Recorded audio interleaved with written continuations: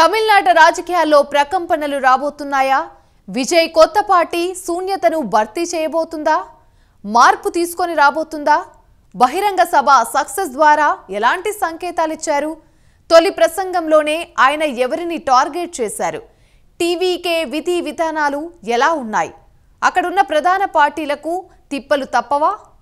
తమిళ రాజకీయాలపై స్టోరీ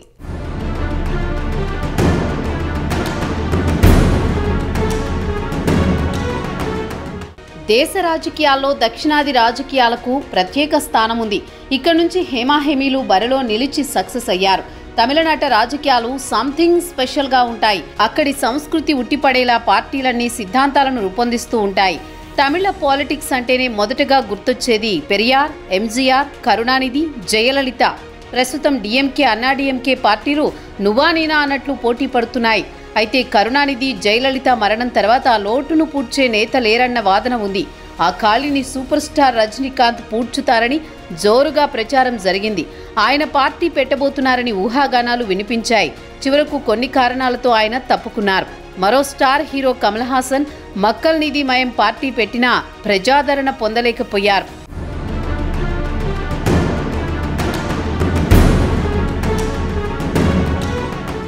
అయితే తమిళనాడు రాజకీయాల్లోకి మరో సూపర్ స్టార్ విజయ్ దూసుకొచ్చారు. తమిళగ వెట్రికళగం రాజకీయ పార్టీని స్థాపించారు. ఇరవై ఏడున అట్టహాసంగా పార్టీ బహిరంగ సభను నిర్వహించారు. సభ ద్వారా పార్టీ విధానాలను ప్రకటించారు. రెండు వేల ఇరవై ఆరు అసెంబ్లీ ఎన్నికలే తన లక్ష్యమని స్పష్టం చేశారు. ఈ సందర్భంగా పొలిటికల్ పంచ్లు పేల్చారు విజయ్.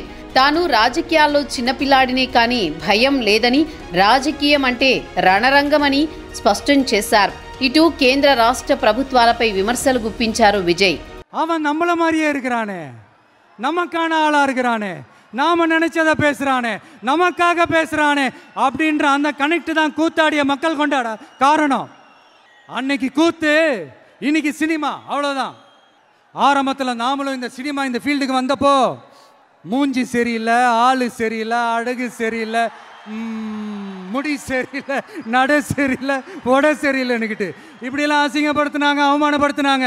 ஆனால் கொஞ்சம் கூட கலங்காம கொஞ்சம் கூட கலங்காம ஒவ்வொரு வாய்ப்புக்காகவும் ஒவ்வொரு சூழலுக்காகவும் காத்திருந்து காத்திருந்து சுத்தி சுத்தி சுழண்டு சுழண்டு உழைச்சி உழைச்சி மேலே வந்தவன் தான்.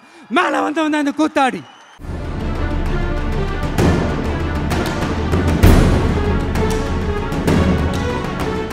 బహిరంగ సభ ద్వారా తన స్టాండ్ను ప్రజలకు వివరించారు విజయ్. పార్టీ సభలో పెరియార్ కామరాజ్ నాడార్ అంబేద్కర్ కటౌట్లు ఏర్పాటు చేశారు. సభకు విశేష జనం తరలివచ్చారు.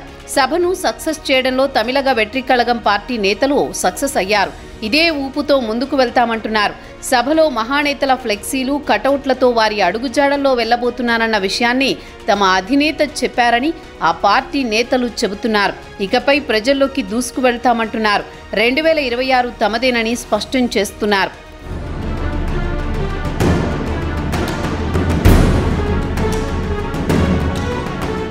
తమిళగ వెట్రి కళగంతో విజయ్ ఎంట్రీ ఇవ్వడంతో తమిళనాట రాజకీయాల్లో ఆసక్తికరంగా మారాయి. కరుణానిధి జయలలిత మరణం తర్వాత ఏర్పడిన శూన్యతను భర్తీ చేయడమే తమ లక్ష్యం అంటున్నారు హీరో విజయ్. రాజకీయాల్లోకి రావాలన్న ఆయన ఆలోచన ఇప్పటిది కాదు. ఎన్నో లెక్కలు అంచనాలు వేసి కథన రంగంలోకి దిగారు. కొన్నేళ్ళ వరకు తమిళనాట ప్రాంతీయ పార్టీలు డిఎంకే అన్నాడీఎంకే పాలించాయి. ఆ పార్టీలకు ప్రత్యామ్నాయ శక్తిగా ఎదగాలని విజయ్ చూస్తున్నారు. తమిళనాట ఆయనకు పిచ్చి ఫాలోయింగ్ ఉంది. పార్టీ ప్రకటనతో ఫ్యాన్స్ అంతా విజయ్ వెంట నడిచారు. కానీ ముఖ్య నేతలంటూ ఎవరూ లేరు.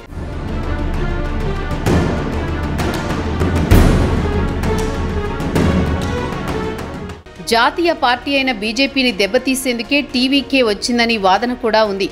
ఆ వార్తలను ఆ పార్టీ నేతలు ఖండిస్తున్నారు. త్వరలో సరికొత్త చరిత్ర రాస్తామంటున్నారు. కామన్ సింబల్ కోసం ఇప్పటికే ఈసీకి దరఖాస్తు చేశారు విజయ్. కామన్ సింబల్ రావాలంటే నియోజకవర్గాల్లో కనీసం ఐదు శాతం సెగ్మెంట్లలో పార్టీ అభ్యర్థులను నిలపాల్సి ఉంటుంది. ఈ విషయంలో టీవీకే అధినేత వ్యూహాత్మకంగా ముందుకు వెళుతున్నారు. ఏది ఏమైనా విజయ్ కొత్త పార్టీ రాకతో పాతుకుపోయిన డిఎంకే అన్నాడీఎంకే బీజేపీలకు తిప్పలు తప్పవు. అభిమానులంతా రాజకీయంగా అండగా నిలిస్తే ఆయన తిరుగులేని శక్తిగా ఎదిగే అవకాశం ఉంది. ఈ క్రమంలోనే ఏపీలో పవన్ రాజకీయ జీవితాన్ని గుర్తు చేస్తున్నారు రాజకీయ పండితులు.